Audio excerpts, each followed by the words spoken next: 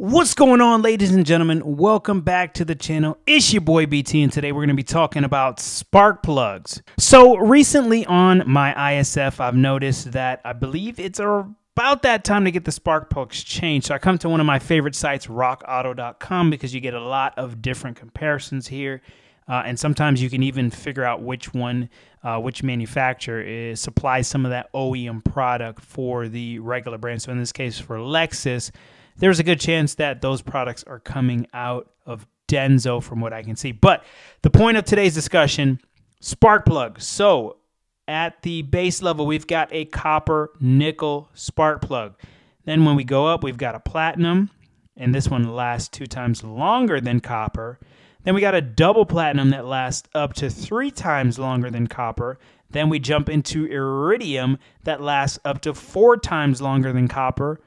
And then we got ruthenium, which is listed as maximum durability and ignitability. So as I'm looking at this information, I'm thinking, hmm, if the ruthenium is this uh, high end maximum ordeal, the price is definitely lower than the cost of iridium. So then that led me to look into what is the difference between iridium and ruthenium. Well, I did a little bit of research and I found out that the ruthenium spark plug, ruthenium is actually a rare metal that is found in platinum ores. It is a hard silver white metal with a melting point of 2500 degrees Fahrenheit. So, what are the pros of ruthenium spark plugs? Well, they are resistant to corrosion. They can withstand high temperatures. They have a high melting and boiling point.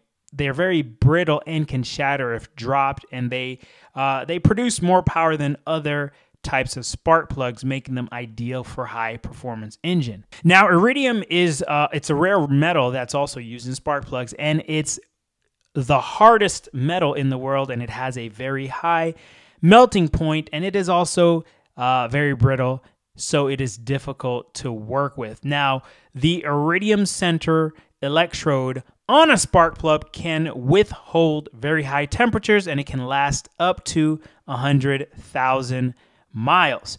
Uh, before it needs to be replaced. So um, they are more expensive. So, what are the differences between the iridium and the ruthenium spark plugs. So, from the research of what I found, the iridium spark plug seems to be the better option. The ruthenium, it also is a good performer, but it looks as if you do have to replace that spark plug a little more often. So in this case, for my application, I would be going with the Iridium spark plug. Let me know in the comments which spark plug you would use if you would use the Iridium or if you would use the Ruthenium.